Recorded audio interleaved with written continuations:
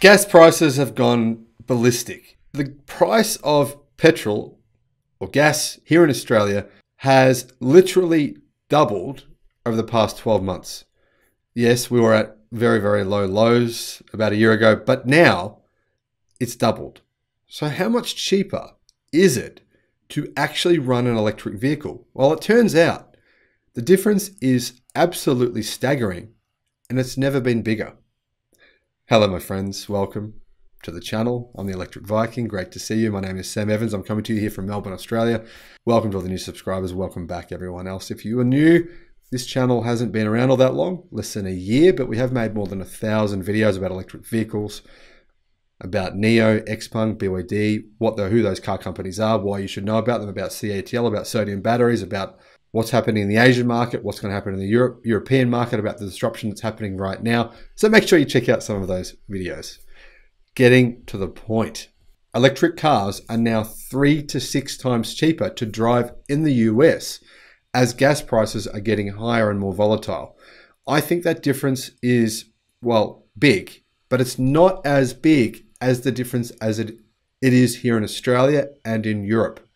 Yes, gas prices in the US are unbelievably cheap. In fact, gas prices in the US are nearly half the price that it costs in Australia and Europe. Seriously. So if it's three to six times different, then you can say six to 12 times different here in Australia and Europe. And this is just this is just an average number. It's not a specific number. I'm just giving you an idea of just how great this is. And obviously it's going to be different in different states and comparing different countries and different days and different minutes of the day.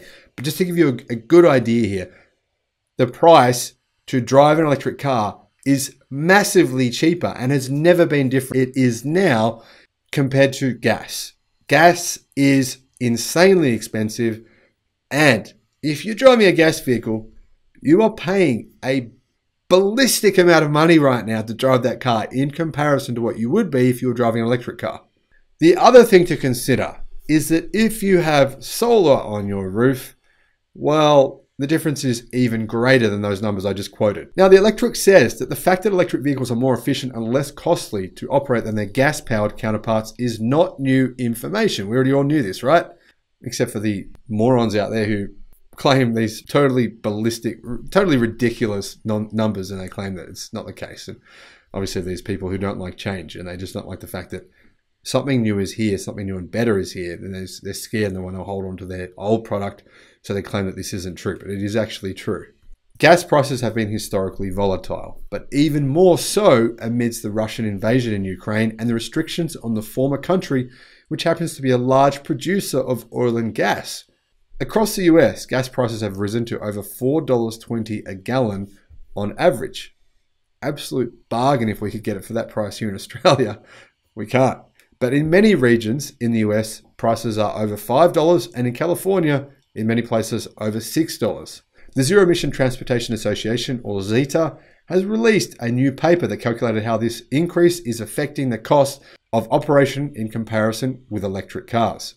According to their paper, the gas price increase is now making electric vehicles between three to six times cheaper than gas powered vehicles, depending on the state. They said, overall, as of March 2022, driving an EV is dramatically cheaper per mile than driving a gas powered vehicle. Nationally, EVs are 35 times cheaper to drive per mile than gas powered vehicles in Arizona, Florida, Georgia, Nevada, North Carolina, Tennessee, and Virginia. Some EVs are five to six times cheaper to drive. That doesn't include if you factored having solar panels into the equation, though. Unfortunately, the graphics in the report are not great at visualizing how much cheaper EVs are compared to ICE cars, but just focus on the numbers. The average electricity price per kilowatt hour, 14 cents as of December 2021. The average gas price per gallon, $4.32 as of March 10th. Now, I just keep looking at that $4.32 and thinking, if only that was the price here in Australia, that would be amazing. So, yeah, you guys have it a lot better than us. You can see the point here, though, right?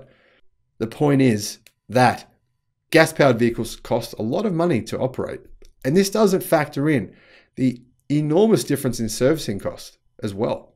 And the fact that electric vehicles last so much longer as well. I really like this little thing here that says the total fueling cost of a Ford F-150 pickup would be 99 US dollars. But for a Ford F-150 Lightning pickup, it would be only 13 US dollars.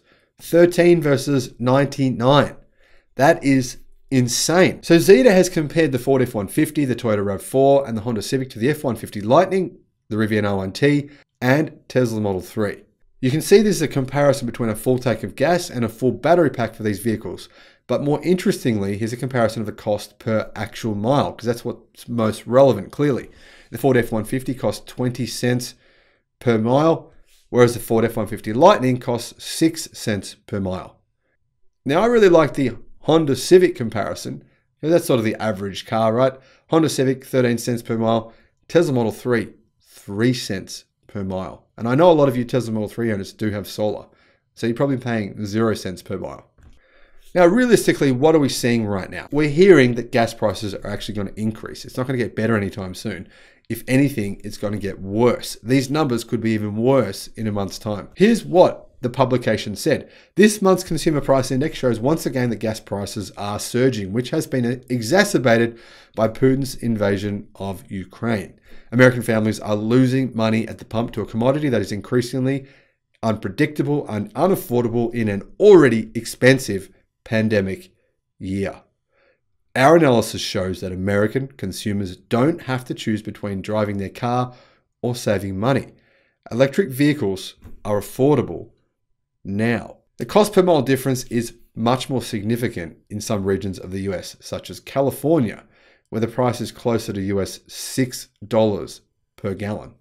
Still cheap compared to Australia and Europe, but very expensive in comparison to its historical averages. So if we look at the cost of electricity and the cost of fuel, gasoline, in California, we get an idea of what it's like to run a Tesla Model 3 versus a Honda Civic. The Honda Civic, which is obviously smaller than a Tesla Model 3, especially in terms of in its interior space, costs 17 cents per mile, whereas a Tesla Model 3 costs 5 cents per mile.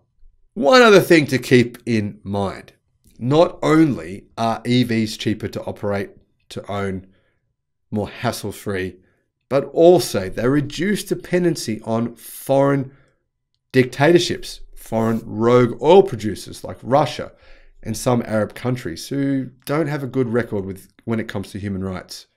That's a win-win. You can produce your own electricity at home to power your own vehicle very, very affordably now. That, in my view, is the best thing to do. Thanks for watching the channel, and I'll see you again on the next one. Bye bye.